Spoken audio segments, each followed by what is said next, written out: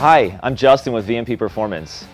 Today, we've got two of our new VMP Gen 3 superchargers on the table. This supercharger just came back from durability testing, and this unit is brand new. So what we're planning to do today is show you a blower that's been run for an equivalent of 100,000 miles versus a brand new supercharger. We're gonna pull them apart on the table, inspect the rotors, look for wear, and just basically see what's going on in there.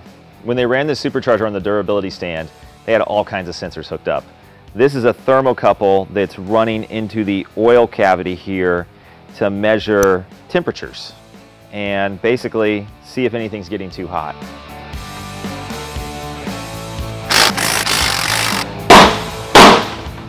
There it goes, the first drips. You would almost never have to take your supercharger apart, but if you ever did need to, they're very easy to work on.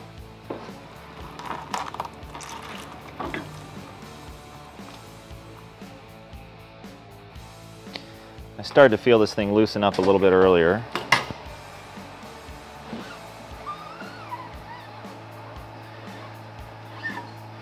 There is the heart of the supercharger, the rotors.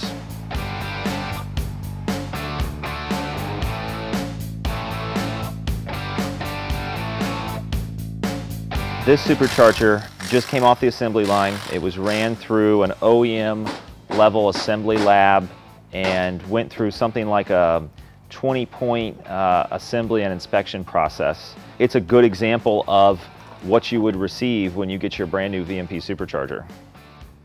The uh, oil fill in here is actually designed to last 100,000 miles.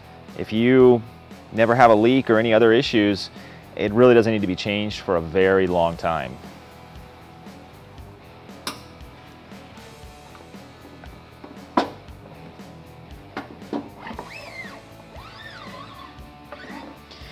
You can actually see a little bit of red film here. The nose drive is sealed to the rotor pack with Loctite and then the rotor pack is sealed to the main housing with Loctite. The Loctite offers a really good seal without adding any thicknesses that might distort the mating surfaces or, or cause a, a bore of the supercharger to be pulled out of alignment.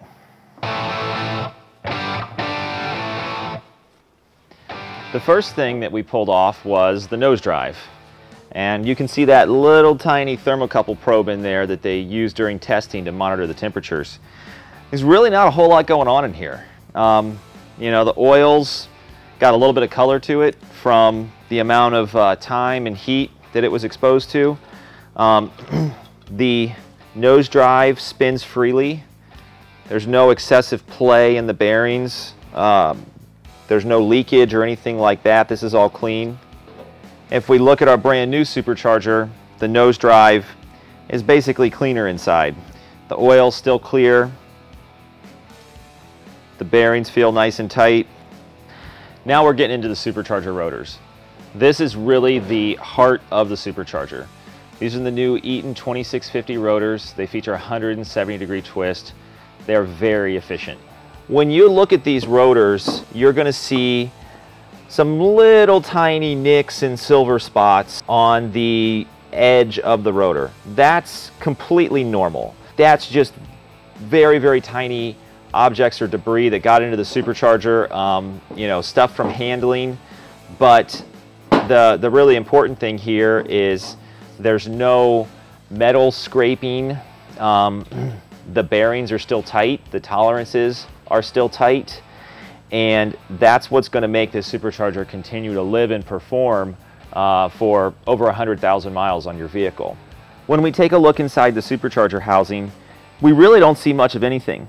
We see a little bit of dirt and dust that built up on the walls. Basically, if this was run on a car, you'd be seeing a little bit of oil from the PCV system just kind of getting flung around inside the rotor bores and making some very light marks or you know, patterns on the supercharger housing. You're always going to see more towards the top of the supercharger housing because as the rotors build pressure at the outlet, they get forced up into the roof area.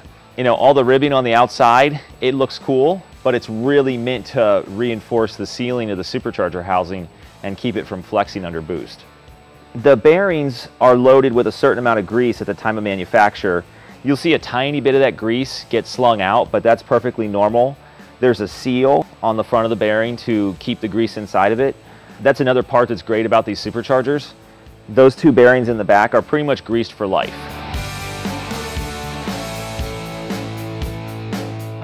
After getting a chance to take this supercharger apart and inspect it, there's absolutely no reason that we wouldn't put it back together and throw it on one of our shop cars. We're committed to giving you the most up-to-date information on VMP products and services. Subscribe to our YouTube channel and like our Facebook page to stay informed.